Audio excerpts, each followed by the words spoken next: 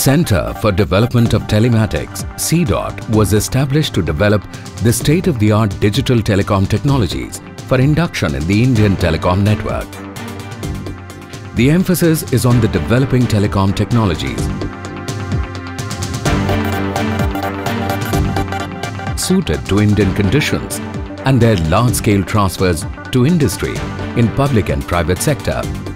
Out-of-the-box thinking has changed the face of technology in the telecom sector. Today, almost all the services and applications are bandwidth hungry. The advent of PON systems in the access market is viewed as the technology to provide triple play services, voice, video and data to the consumers. To address the concern of emerging high bandwidth services and applications, CDOT has developed products based on Gigabit Passive Optical Network GPON technology. GPON is the next generation of PON, supports higher data rates over a logical reach of up to 60 kilometers. When compared to other PON technologies, GPON is seen as the technology of choice to deliver FTTX or fiber to the home, building, curb, cabinet by the service providers because it provides higher bandwidth, better quality of service and enhanced scalability, can handle multiple service providers and overcomes the drawbacks of copper networks.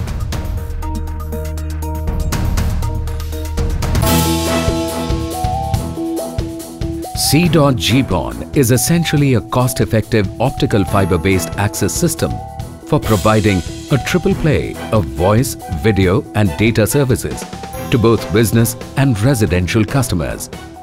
It offers bandwidths of 2.488 gigabits per second downstream at 1490 nanometers and 1.244 gigabits per second upstream at 1310 nanometers, which is much higher than the bandwidths provided by copper links. Video is transmitted downstream at 1550 nanometers multiplexed with downstream data signal.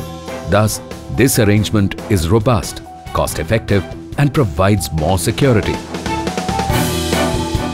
C.GPON system consists of OLT as central office unit and different types of ONTs such as ONT1, ONT2, ONT3 and ONT4 as terminal units.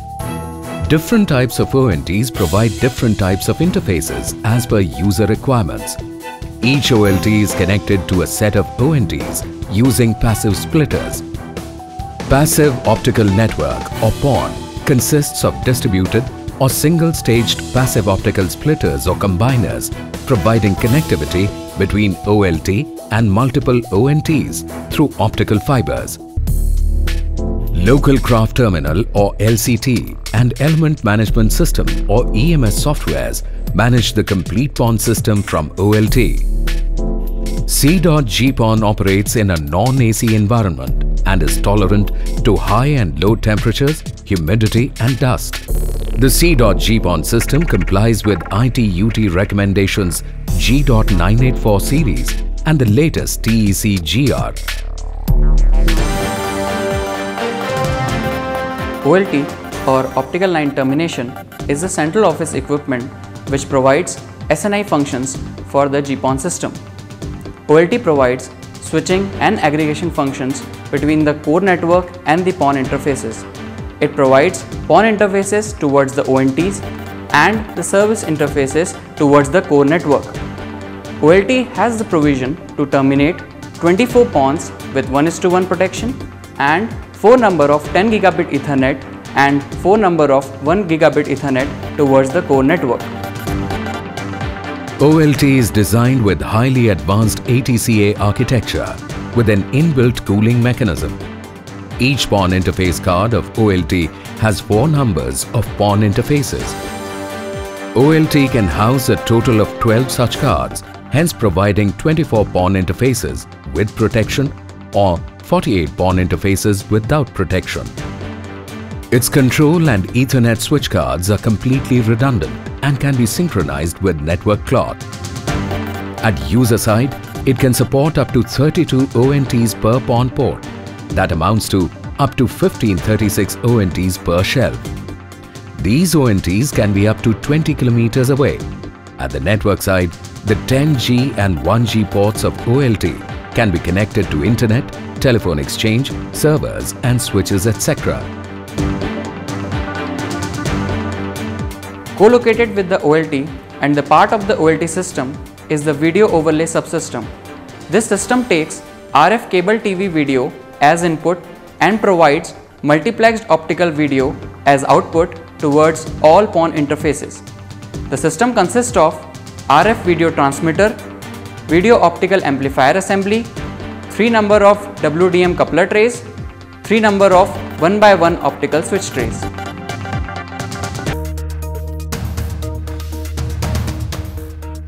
The RF video transmitter, WDM coupler and switch trays are of standard 19 inches width and 1U height housing.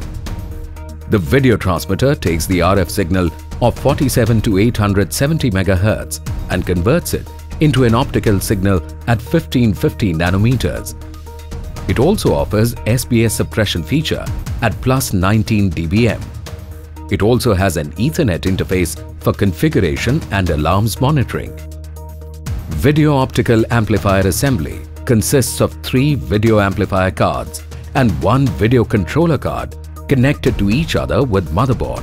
It also has one passive splitter card. Each video amplifier card has an EDFA optical amplifier unit supporting 16 output ports which increase the optical power of video signal to compensate the loss of fiber and passive splitter. After amplification, each output port gives around plus 20 dBm optical power each card has RS-232 interface for monitoring alarms and for operation and management.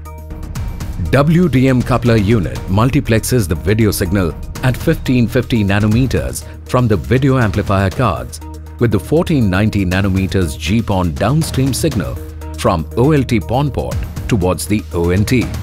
The 1 cross 1 switch tray is used to switch off the particular port of video amplifier cards for safety purpose in case of fiber break. The RF video transmitter, switch tray and video optical amplifier assembly work on single minus 48 volts DC supply from the PATOP. Complete OLT system including video overlay subsystem can be assembled in a standard 19-inch wide, 600mm deep and 2200 mm high standard shelf and works on minus 48 volts DC input.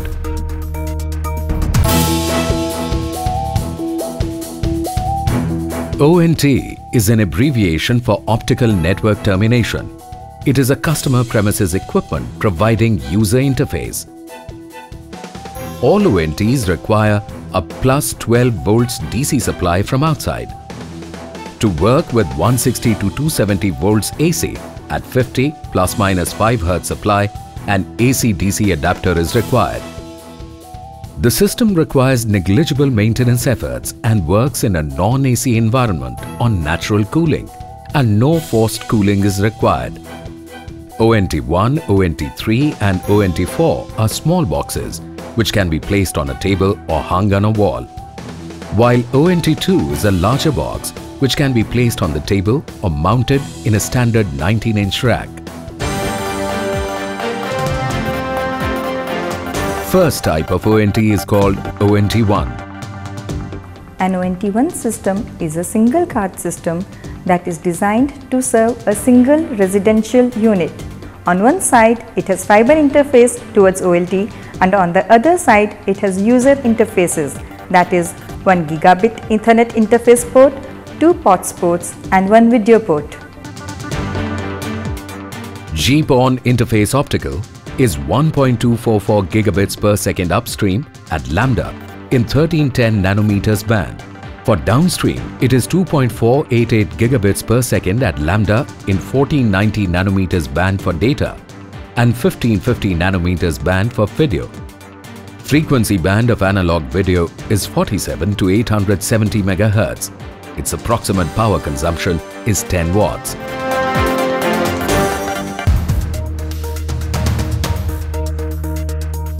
Second type of ONT is called ONT2. ONT2 system can be used for subscribers requiring more interfaces. ONT2 system is a three-card system and is designed to serve small office home office units or multi-dwelling unit. Its approximate power consumption is 32 watts. An ONT2 system towards the PON side has the same interface, bit rates and operating wavelengths as that of an ONT1 system.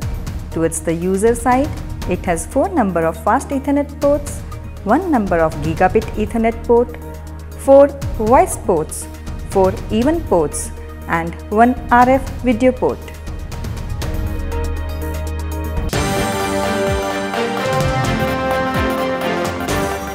This is another type of ONT and is called ONT3.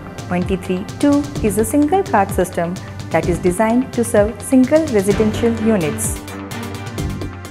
On one side, it has fiber GPON interface towards OLT and on the other side, it has user interfaces which are 1 gigabit Ethernet, 4 fast Ethernets, 2 POTS ports, 2 USB ports and 1 video port. GPON interface optical is 1.244 gigabits per second upstream at lambda in 1310 nanometers band. For downstream, it is 2.488 gigabits per second at lambda in 1490 nanometers band for data and 1550 nanometers band for video. Frequency band of analog video is 47 to 870 MHz. Its approximate power consumption is 21 watts.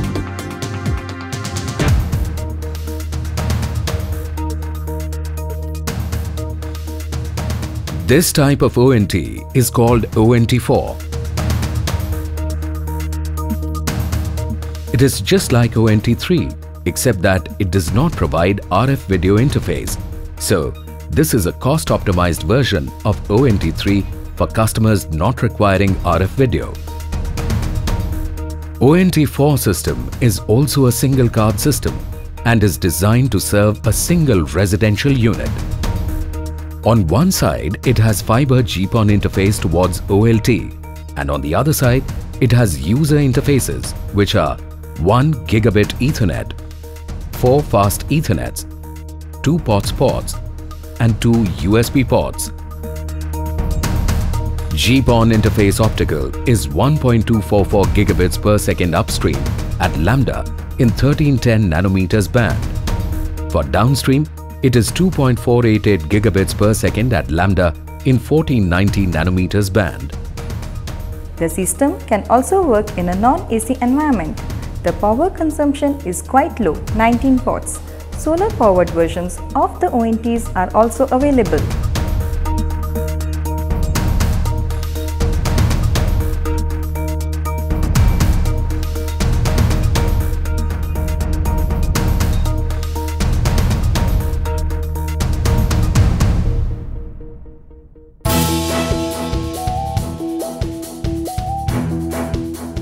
Main system features of C.GPON solution are fully TEC GR and ITUT G.984 compliant system, 2.5 gigabits per second downstream at 1490 nanometers, 1.25 gigabits per second upstream at 1310 nanometers, RF video transmission at 1550 nanometers, can support up to 32 ONTs per PON port, can support up to 1536 ONTs per OLT system.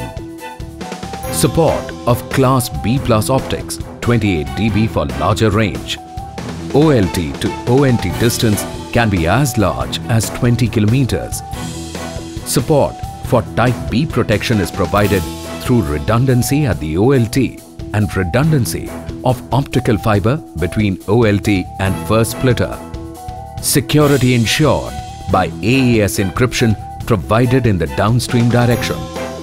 Support for RSFEC or Reed-Solomon forward error correction is provided in both upstream and downstream directions.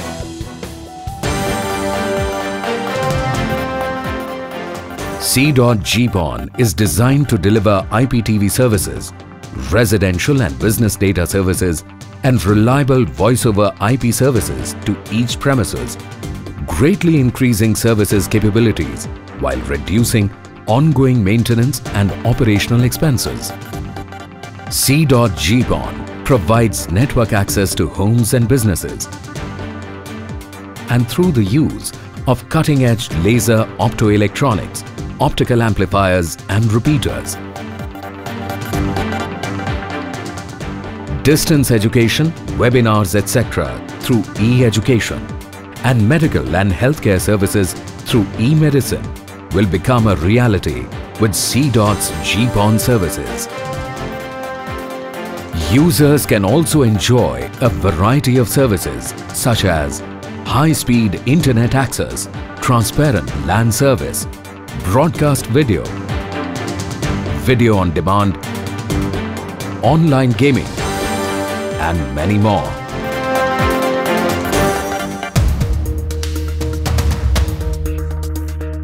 Broadband networks are an increasingly integral part of the economy. As the technology evolves and bandwidth increases, the scope for broadband to act as an enabler of structural change in the economy expands as it affects an increasing number of sectors and activities. Broadband increasingly enables people to start small businesses from home, which will contribute to a more dynamic and entrepreneurial business sector. As India is poised for growth, proliferation of GPON technologies and availability of high-speed internet through large-scale deployment of GPON systems will provide impetus to the broadband growth for national development. It will not only help to bridge the digital divide, but also will significantly contribute in ensuring sustained economic growth as there is a direct correlation to the broadband penetration per inhabitant to the per capita GDP of the country.